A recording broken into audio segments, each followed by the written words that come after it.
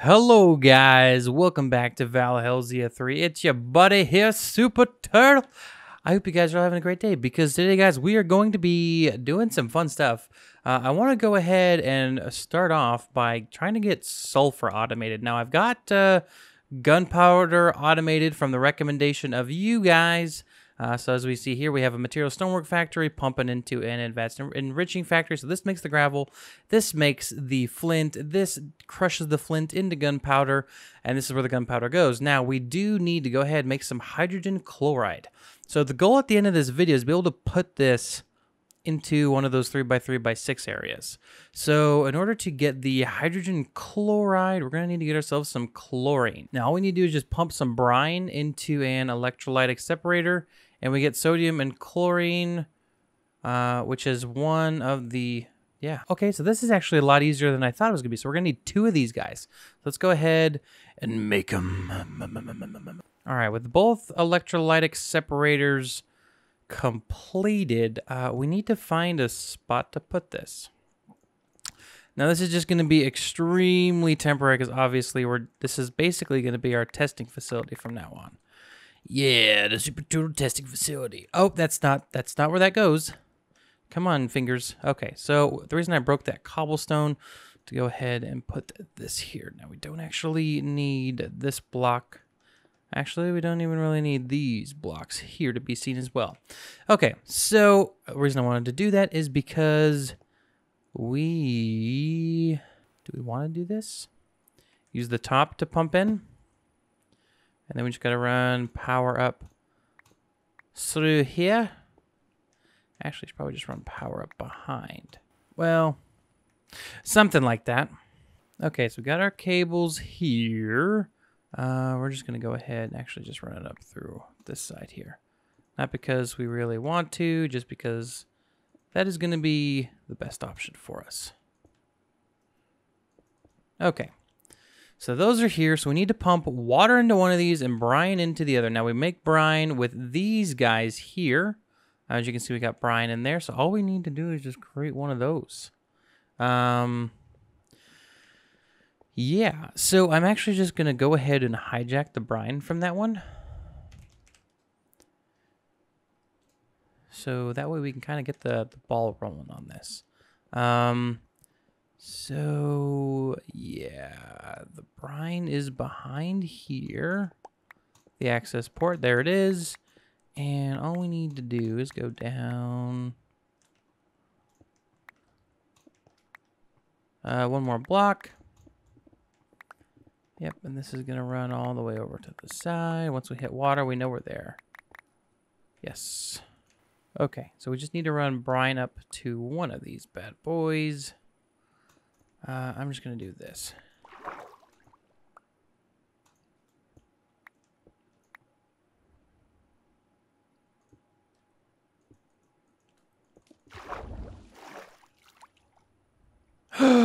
no. No. That, ah. Uh, ah. Okay. That was actually really lame. Okay, Okay, so just need a little bit more cable here. I can go ahead and make that. Unfortunately, we're going to have to make another one of those electrolytic separators for up there. Because I don't know how to get rid of the, the items that are there. Cool thing is these aren't very expensive. All right, so we got our second guy up and working here. All right, that's for blocks. So then this has got to be for fluids. Perfect. Okay, so there we go. That should be filling up with brine, except it's not because we screwed up. Okay, so brine is in here. This is making the sodium and the chlorine. Uh, yeah, maybe didn't think this all the way through.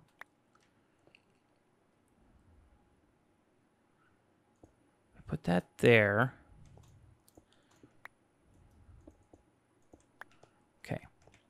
So then we need to go ahead and get a sink now. This is all to get the uh, the fission fuel eventually automated. Promise. Well, we'll just have to uh, like set it and forget it.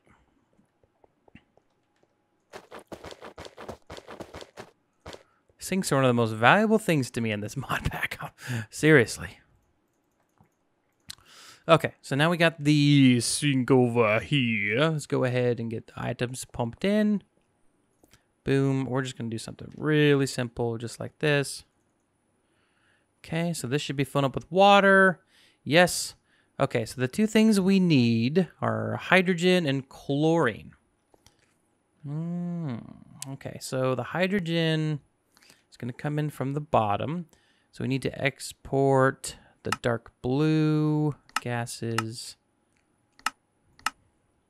Eject on, okay. And then,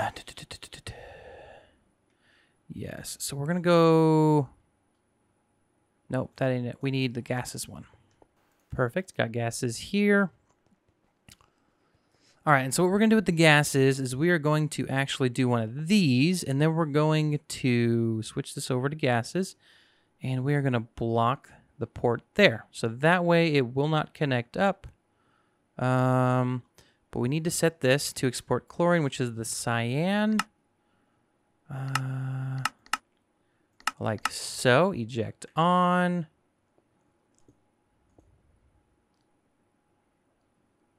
Oh, that's got hydrogen in it. Yep, gotta break that.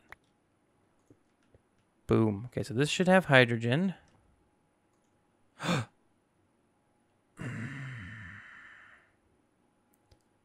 Okay, so we're actually going to put the block here. We're going to break this. We need to combine these two guys together in a chemical infuser. I totally forgot that step. I just tried pumping them into there. that didn't affect this machine, did it? Nope, it didn't. Okay. Whew. Oh, KB. Actually, we should be good. Yep. Perfection. All right, so now we place these two here. Chlorine is working there. Gases. Input red, maybe. Hey, that worked. Okay. And so now all we need to do is go ahead and just get power here. Okay, and then this is making sulfur because we're filling it with hydrogen chloride. Very, very cool. Look at that, sulfur dust. Okay, so look, check it out, guys. Uh, other than this, we can go ahead, we can automate this. It's very easy to automate. Um, just need the thermal evaporation chamber. So we're going to have to find a way to automate that. Uh, but yeah, so we have, so this is literally automated with water and a cobblestone generator. So we get sulfur. And then this is used, let's see. So that would eliminate this guy, I do believe. Yes, because then we can just throw in the sulfur here, where it goes in. And that goes in there. So this is the limit. So this has just been automated. Um, yes, because this is making some. How much? How much brine do do we got in here? We got lots of brine. Okay, so let's go ahead and work on some energy upgrades. So we, we've got the system here perfect. Uh, the next part is condensing it down. Woo! Uh, and then we also got to do the, the evaporation thing. So I'll probably find a spot to do that in the new base. And while we're talking about the new base, I want to go ahead and actually show you guys that once we wake up here. Uh, I did make some changes down below. Oh, I also made a change up top too. So yeah, I switched this out for marble brick. I'm really a big fan of this, how the uh, polished marble and the marble bricks like kind of just flow together. I also put these little dark accents in here. I think they look really good. Um, I just think it makes it look a little bit more interesting up there. So I'm really enjoying that. I also decided to use some mana glass. Don't know if I showed you guys this, but this gives off a light. Um, other than the fact that it does connect to this guy here, which I'm not a huge fan of, but that's been sealed off. That's its own little system. And then down here, I did a lot of work. so this is uh, what we're kind of going for. Um, went ahead and kind of sealed these in a little bit. Got the structure, but I don't have all the mana glass in just yet because we're still doing work in here. But yeah, so these are each of the four different areas. Uh, as you can see, each of these kind of uh, kind of has their own little area in here. Uh, we're gonna have the fission fuel and stuff like that coming in here, so it will be looking amazing. I'm gonna go ahead and put the the marble bricks down here eventually. And the cool thing is the mana glass gives off light, so we don't really have to worry about lighting in there up because once it's surrounded in the mana glass, It's gonna be uh, it's gonna be real lit in there. It's gonna be a party. So yeah, um, very very cool. I'm very. Wait, can I not jump here? Oh yeah, there's glass. Um, but yeah, so we're gonna work on maybe finding a spot for the brine because the brine needs sunlight access. Um, hmm. I almost think we're going to need to set up a separate area to generate our brine for us. And we can go ahead and set up like six or seven of those guys, or probably eight. Just like a, actually no, we'll do 16, a four by four of the brine processed processing. And then we'll use one of the quantum things to go ahead and transmit power and transmit the fluid. So we can just put, go bam, one of those call it good. It's probably what we're going to end up doing with this guy up here. So I might need to redesign it so that the quantum thing is here in the middle. Uh, but I'm going to go ahead and start working on getting that 4x4 area set up for all the brine processing. Because that's pretty much the only thing limiting us right now, which is pretty cool to think about. Okay, guys, so I've done quite a bit of progress. As you can see, we have this little landing platform here, and then an archway coming over. And then if you look in the mini-map, you can kind of see what we did. Boom! These are the uh, the evaporation chambers. Uh, as you can tell, we have no solar panels here, but if we come around to the back, you can see the resistive heaters here. Um, these are absolute beasts when it comes to heating this up. If I were to just go ahead and go, let's go 100 FE per tick. Yeah, these are adjustable, so we when we get more power, we can increase the rate at which they produce power. Um, yeah, so we're just going to limit these to 60 RF per tick per each of them. So they are a little crazy. If we come down here again, the more power we get, the faster these can become. Uh, we're generating a bucket about every second. Yeah, it filled up this thing stupid fast. This is what we got going on. We're running over there to our main power source coming over here, kind of cuts down, comes around, and branches off here. I wanted to make this look really neat down below, and I think I went ahead and almost did that. But we do need to go ahead and connect that up. Yeah, so now everything is connected here. Uh, we also, to get the power or the heat from the resistive heater here, we made these ultimate thorough thermodynamic cable, uh, conductors, which go into a port, uh, which then again turn our water into brine. Uh, now, the very cool thing about this as well is we can go ahead and if we really needed to, um, we go ahead and put a second level up here where we turn the brine into the other thing. I forget what it's called. Uh, we can turn it into the liquid lithium if we needed to. So say we could just take like the back row. If like this is way overkill, we could even make it so this one is producing um, the lithium and then this side is producing the the brine here. Um, but yeah, it's uh it's quite crazy. Or heck, we could even break it up so that uh, these two rows will be producing just brine, uh, and then these two rows will be uh, separated to themselves. This one will be producing producing brine. This one will be be producing the um, the liquid lithium.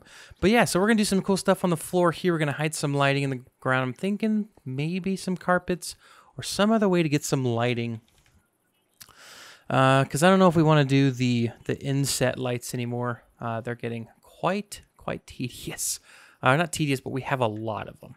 So I don't know if we want to keep doing that. It's kind of making this look kind of weird, but I do really like the look of the base from over here. It just it's gonna look cool. So this is all gonna be sealed off.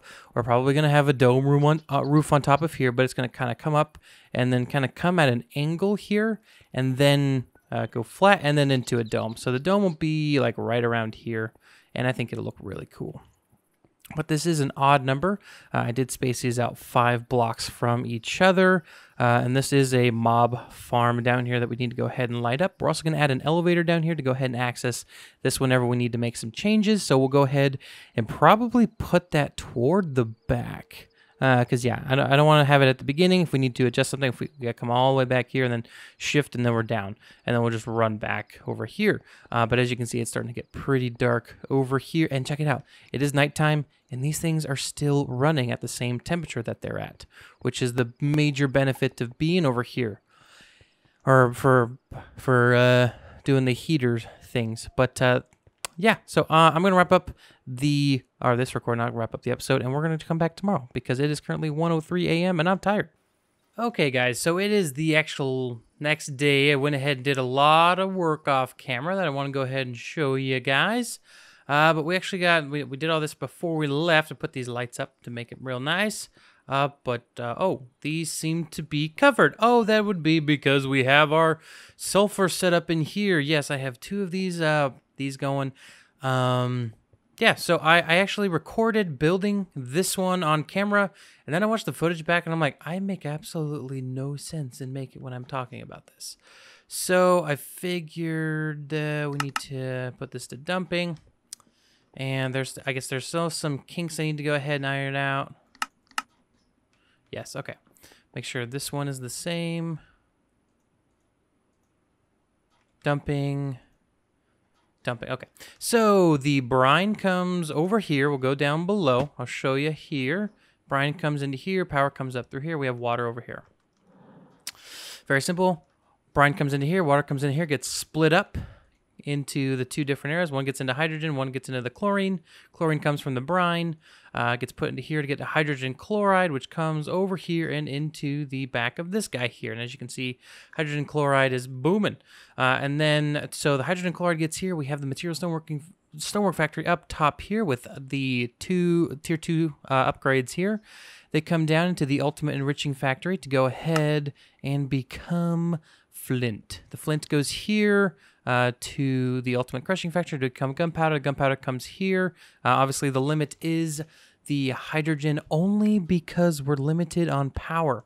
When we get more power going, we can crank these to the max, okay? And then we can crank all the machines in here to the max and we'll be producing these like a madman, so this won't be as slow. Yes, and so we have them coming out into here, and boom. Now, for some reason, when I explained that on camera, I sounded like a complete idiot. So yeah, um, it's working real good. We just need to throw some mana glass in front of it, which we can go ahead and do now. All right, so mana glass acquired. All we got to do is do this. And the cool thing about the mana glass, like we, like I said before, is that this stuff lights up the area so we don't have to put any extra lighting in here. But now this is sealed.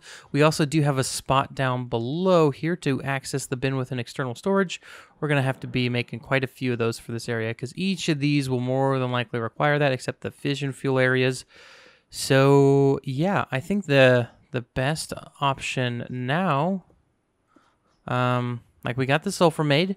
Um, now the only concern I have is the uranium.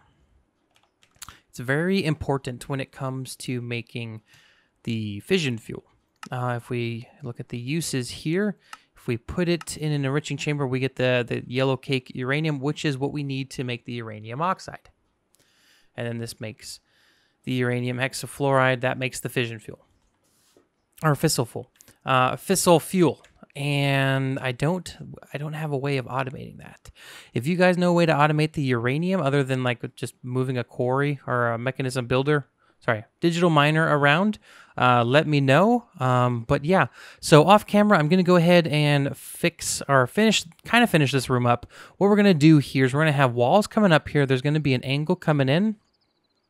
And the angles are going to be kind of like this going up and then at the very top, um, the angles are gonna come in like so, and it's gonna look it's gonna look cool. It's gonna be like, kind of like a square room. I need to turn off vein mining very fast. Oh, that could have been bad. Okay, so yeah, so it's gonna be kind of this square room. It's gonna be very square, but each of the corners is going to be kind of smoothed out, kind of like how uh, think of this is the wall, this is the roof. There's gonna be this here. Uh, so that's going to be all around. I think it's going to give us a really cool look. Again, we're going to come over here. We're going to have another dome here in the middle. Um, I think it's going to kind of come like out to here. It's going to be kind of a big dome. We might have it come like halfway out to here. But yeah, it should look really cool. It's going to definitely be smaller than that one. Uh, so I do want to keep that in mind because I want this to be like the main hub that you go between the rooms in. It's also got all of our machines and stuff like that. So I, I don't want uh, that to like overshadow this, if that makes sense. And I am debating on opening this guy up and having like some like green blocks there, or something like that. Um, I'm not quite sure. Let me know down in the comment section what you guys think. Uh, but guys, that is our sulfur system automated. It's pretty neat. Um, you can tell it's neat because of the way it is. But guys, I'm going to be wrapping up the episode here. I hope you all enjoyed the video. If you did, please make sure to hit the like button. And as always, don't forget to subscribe. But guys, this has been the Super Turtle. I will see y'all next episode. Take care. Peace out. Adios.